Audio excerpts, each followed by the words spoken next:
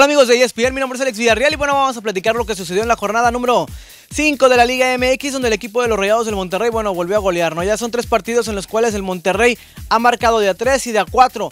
Lleva 4, 8, 9, 10, 11 goles el equipo de los Rayados del Monterrey en los últimos tres partidos. Y si nos vamos al partido amistoso de contra Benfica en la inauguración del estadio, ya lleva 14 goles el equipo de Rayados en cuatro partidos, un promedio de más de 3.5 goles por encuentro. Algo impresionante, poderoso que se ve el equipo del Monterrey.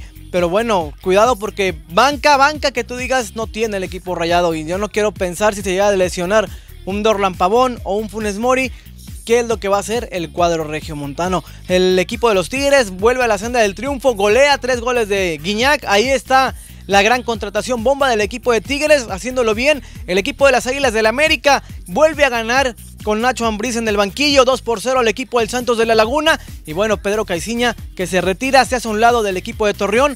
A mi gusto fue precipitada obviamente esta decisión porque viene siendo el técnico campeón, un técnico que le dio un estilo, una forma de juego al equipo del Santos de la Laguna.